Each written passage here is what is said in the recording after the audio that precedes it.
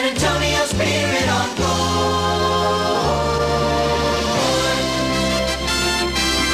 From the hill country to the Rio Grande.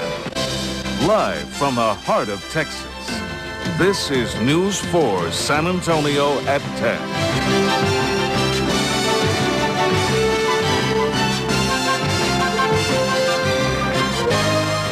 Good evening, everyone. Our top story this Wednesday night, it is corrupting our children. It is provoking crime and it's exploiting sex. That's what a local group is saying tonight about pornography. Citizens Against Pornography claim our city won't be safe until we rid it of